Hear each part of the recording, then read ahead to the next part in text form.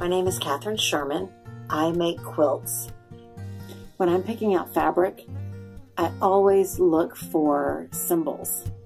I love symbols. So this to me looks like tears. It could be rain, but I'm probably going to go with tears. And I have used it, in fact, as tears. And then also, love anchor. What a powerful image that is. So you'll definitely find the anchor in some of my quilts. I also really love including fabric from different time periods. So this sort of screams 60s, right? This is a jacket, a men's blazer that I found at a thrift shop in South Africa.